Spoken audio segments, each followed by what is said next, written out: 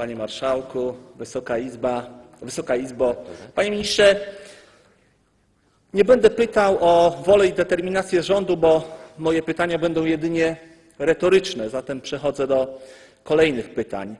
Panie Ministrze, czy rząd w dniu 27 kwietnia 2009 roku przyjął założenia systemu zarządzania rozwojem Polski i czy prawdą jest, że według tego systemu strategią długookresową, wyznaczającą cele rozwojowe, wizje, ale także cele operacyjne państwa polskiego będzie długookresowa strategia rozwoju Polski z horyzontem czasu do roku 2030.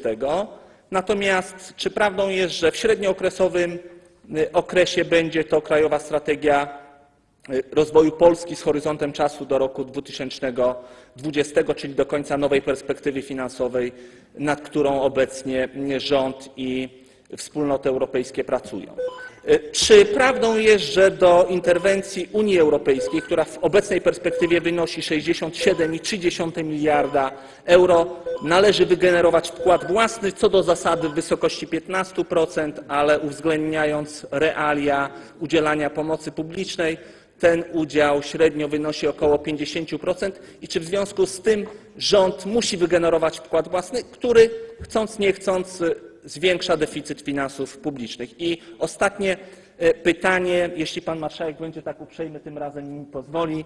Nie, Czy Ministerstwo Rozwoju Regionalnego pracuje nad systemem regionalizacji programów operacyjnych, ale nie tylko, panie ministrze, w ramach Europejskiego Funduszu Rozwoju Regionalnego i Europejskiego Funduszu Społecznego, ale mnie się marzy włączenie w ten system Europejskiego Funduszu Rolnego, bowiem jak pan pamięta w perspektywie 2000-2006 Panie Europejski Fundusz Orientacji pytania, a pan Gwarancji mówi już o marzeniach, e, także może z marzeń, które chciałby pan wyrazić, zrezygnujmy. Dziękuję bardzo.